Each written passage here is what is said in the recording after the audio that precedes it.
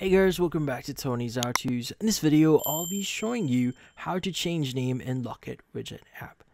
So, before we start, hurry up and check out these just under this video. So let's get started. So you might be wondering how to exactly update or change your name here in the Locket widget app. Well, changing or updating your name is fairly easy here. You just need to access a few things. So first things first, you want to open up the Locket widget app here and just log in into your account.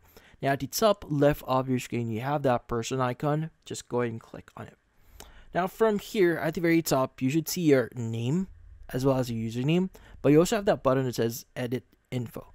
Now, what we need to do, since our first name or our name is directly related to our information here, let's, just, let's go just click on edit info. And as you can see, you now have the option to edit your name. So that includes your first name as well as your last name. So you could just do whatever edit you want and just click on save here and it will save your changes. But yeah, so in this case, that's about it. So this one's pretty simple. Just follow the steps and you should be good.